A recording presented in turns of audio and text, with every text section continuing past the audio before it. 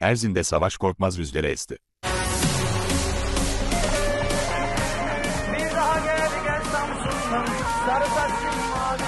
Hatay'ın Erzin ilçesinde 19 Mayıs Gençlik ve Spor Bayramı coşkusu devam etti.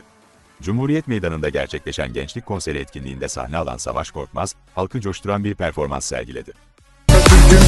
Yok olmuş bir ülkeden tekrar yeni bir cumhuriyeti kurmak için attığı ilk adım, Samsun'a çıktığı ilk adımın ilk günü.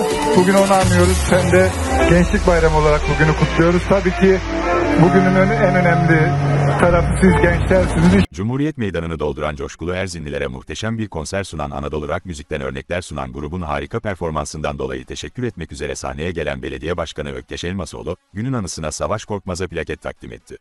Konser boyunca, vatandaşlar anlamlı bir günde müziğin tadını çıkararak bir araya geldiler.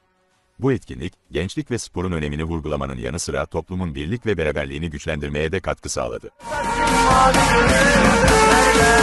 Nerede? Neredesin